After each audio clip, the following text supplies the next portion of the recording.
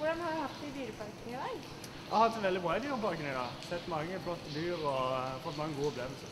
Hva overrasket deg mest? Det som overrasket meg mest, var kanskje de bak meg, her sjimpansene her, hvor uh, menneskeaktige de var, og hvor uh, like de var oss egentlig. Kom på en ting til. Eh, Nei, hvem er yndlingssjimpansen din? Yndlingssjimpansen min, det var nok si er den bitte lille, den som heter Yr.